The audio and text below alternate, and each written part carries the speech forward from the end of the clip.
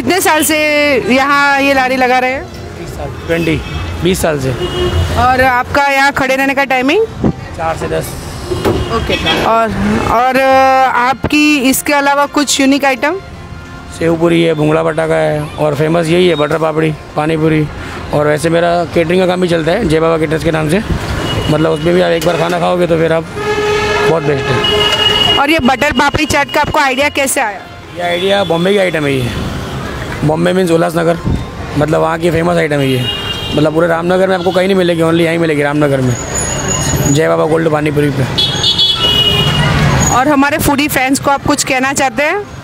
नहीं नहीं बस एक बार आओ खा के जाओ। आपको पसंद है तो फिर लाइक करना। Thank you